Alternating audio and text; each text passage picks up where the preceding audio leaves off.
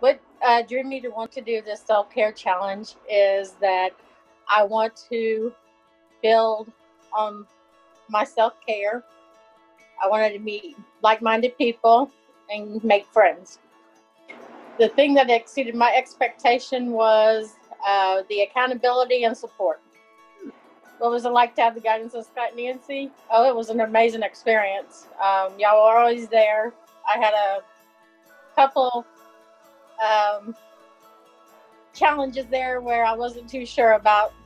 Uh, my gremlin, working on my gremlin, was a tough one for me. it is for everybody. It really is.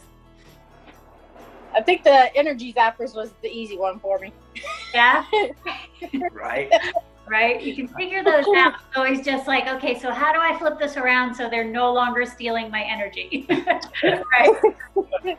Why would I recommend someone else to take on the self care challenge? Is because everybody needs to uh, learn to take more time to spend on themselves, to take care of themselves, and to put them first once in a while instead of putting themselves on the back burner.